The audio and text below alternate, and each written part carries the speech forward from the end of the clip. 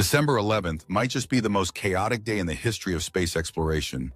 It started in 1972 with a goodbye. The lunar module Challenger touched down in the Taurus Littrow Valley. Astronauts Gene Cernan and Jack Schmitt began the final Apollo mission. They spent three days exploring, and to this moment, they remain the last humans to ever walk on the moon. But in 1998, NASA had a much worse day. They launched the Mars Climate Orbiter. The launch went perfectly, but the mission ended in disaster. The probe burned up in Mars's atmosphere, losing $327 million. Why? A conversion error. One team used English units, the other used metric. It is literally the most expensive math mistake in history. Fast forward to 2022.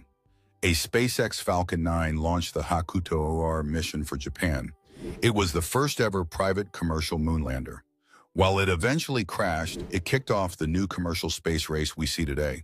From final footsteps to expensive typos, that is why BAMF